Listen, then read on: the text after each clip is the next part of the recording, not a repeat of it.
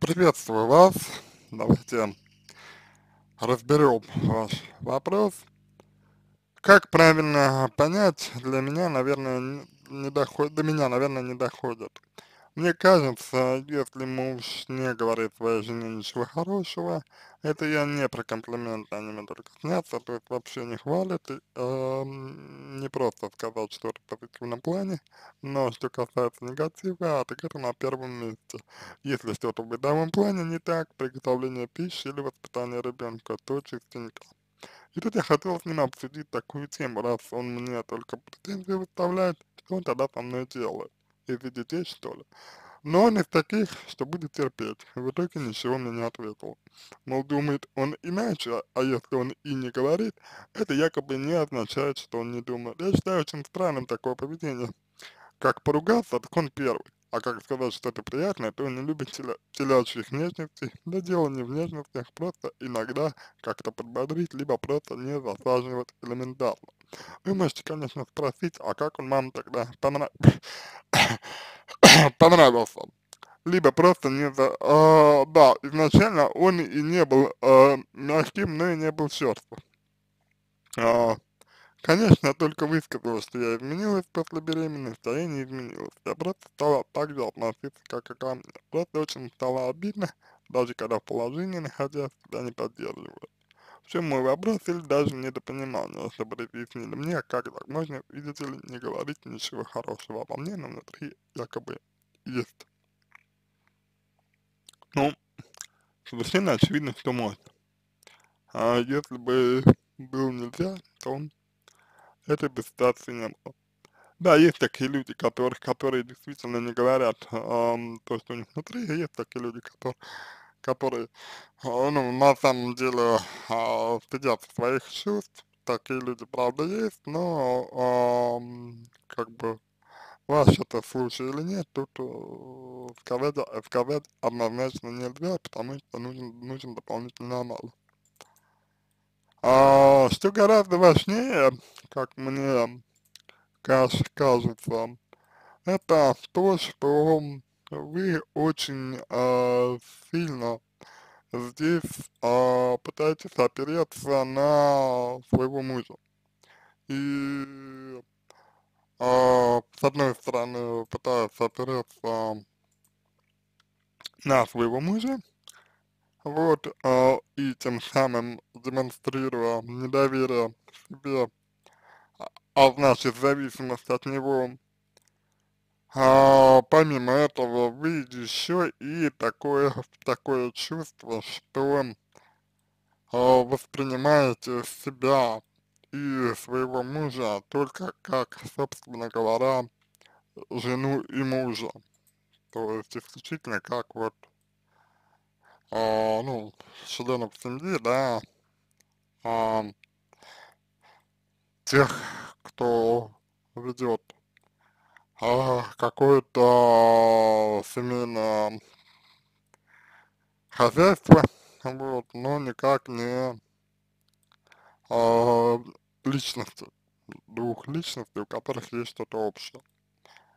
И мне кажется, что это очень показательно, потому что а, очень часто такое вот происходит, когда люди довольно сильно и абсолютно необоснованно э, сужают спектр восприятия себя и другого, спектр восприятия себя и партнера, и в итоге это заканчивается, заканчивается мягко говоря, ничем хорошим. А, мне кажется, что а, ну, во-первых, вы себя явно принижаете, вы себя явно обесцениваете, вы явно а, как бы требуете от своего а, супруга, скажем так, а, некоторой определенности, судя по, а, ну, судя по вашим словам, да, вот вы требуете от своего супруга а, определенности, вот, а, но эта определенность, она в первую очередь нужна вам, она не нужна э, вашему мужу. И вот это очень важно понимать, очень важно понимать этот момент, что э, определенность нужна именно вам и только вам, и все. И не имея возможности получить ее для себя самостоятельно, вы пытаетесь опереться на него. Понимаете? И от этого страдают. Мужчины же э, чувствуют вашу, вашу э, зависимость от, от э, него, скорее всего, и это э, позволяет ему вести себя вот так, как он себя ведет по отношению к вам. А, его доминирование, его претензии, его э, какие-то вот, э, скажем так, э, колкости вашего, ваш адрес, может быть даже э, элементы газлайтинга, вот. Это следствие, к сожалению, вашей низкой самооценки. Это следствие вашей неуверенности в себе, это следствие того, что вы э, в отношениях, скорее всего, э, пропускали то, что, то, что для вас важно. Ну вот, э, вот э, пропускали вы и пропускаете, как мне кажется, до сих пор, э, то, что вам, вам важно то, что вам ценно. Вот. И, соответственно, а в этом, как мне представляется, и заключается одна из главных ваших проблем. И, соответственно, чтобы э, ситуацию эту э, разрешить, необходимо вам э, корректировать в первую очередь свое отношение к себе. Работать с э, личными границами, самооценкой, страхом, поведением. Конечно же, учиться э, конструктивно разговаривать с, э, с вашим мужем, вот, и э, конструктивно выстраивать коммуникацию с ним. Если вы, там, скажем, э, ну, до сих пор, до сих пор этого, например, не сделали, если вы до сих пор этого не умеете, вот. А, чем еще? А, нужно, нужно, как мне кажется, определиться по возможности. Это с тем, а, считает ли а, ваш муж а, проблемой. То, что происходит вот вот, ну, между вами. То есть, а, ну, воспринимает ли он а, как проблему а, то, то, что а, вот, ну, происходит а, с вами. А, вот. И это очень важно. Очень важно, потому что если он воспринимает это как проблему, то вы можете вместе обратиться к психологу и поработать. Если нет, если он не воспринимает это как проблему, то в таком случае а, к сожалению, можно говорить о том, что особо здесь ничего, ничего не сделать. Э, Ну, ну, в этом э, смысле вот, особо ничего не, не сделать, потому, потому что а, мужчину все устраивает. И меняться он э, вот, а, скорее всего, да, а, не собирается в этом смысле к, а, с- ну, к большому, к большому, э, к большому сожалению, человек не собирается меняться, не будет меняться и так далее. Вот, поэтому тут, конечно, а, такая вот проблематика а, вне всякого сомнения присутствует. И ам, нужно, как мне кажется, а, иметь её в виду, эту проблематику. Вот, обратите внимание, что вы пытаетесь понять, ам, значит, человека? Другого,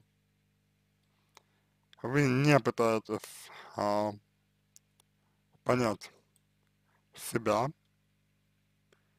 и на мой, на мой взгляд, это, конечно, очень-очень-очень а, тревожный а, факт, потому что если вы пытаетесь понять другого, вы живете другим человеком, но не живете сами и не разбираетесь в себе, а нужно именно а, исследовать себя, именно исследовать то, как вы хотите, как вам нужно, чего вы хотите и так далее. Это гораздо более а,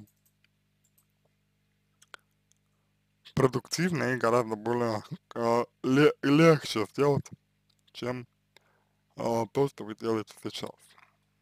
Вот. Надеюсь, что я смог до вас этот аспект донести. Вот, хотя, конечно, я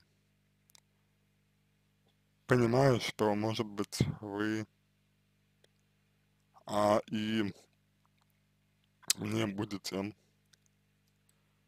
а, с этим согласны. Вот, но тут уже вопросы исключительно, а, ну, как бы, позиции вашей. Вот.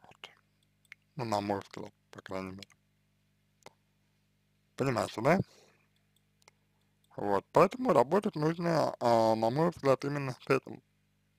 Не пытаться понимать, э, понимать человека, что невозможно сделать, потому что он даже э, сам может не отдавать себе отчета в том, что происходит, как происходит и так далее. А больше э, обращать внимание все-таки вот на себя, больше все-таки стараться исследовать а, себя, свои реакции, вот, свои чувства.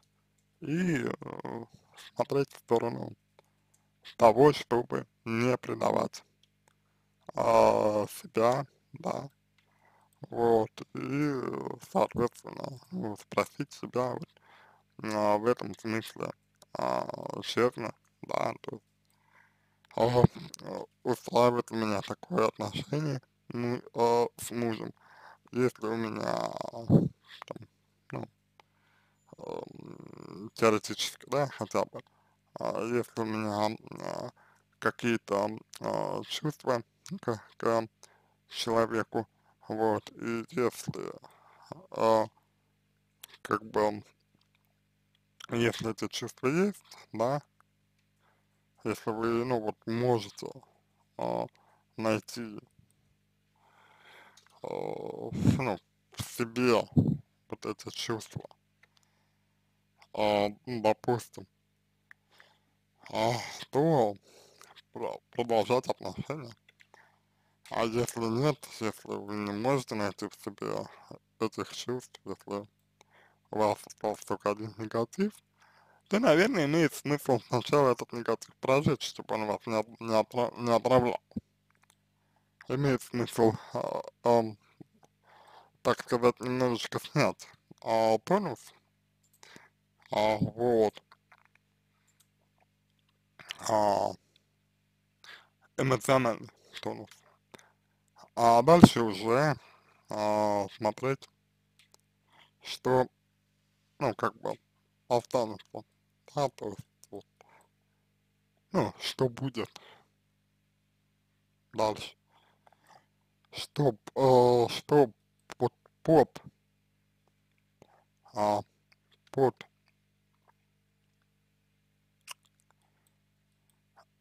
этим негативом, негативом, а, если там что-то, может быть, там ничего нет, может быть, что-то осталось, в любом случае, мы этого не узнаем до тех пор, пока не поисследуем и не поработаем с этим. Вот, ам, пожалуй,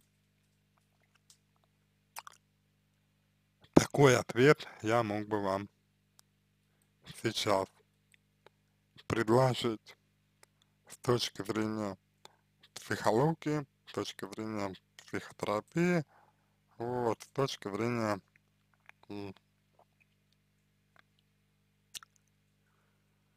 моей парадигмы, в которой я, ну, работал, да, вот, потому что мне а, а, хочется, как бы, а,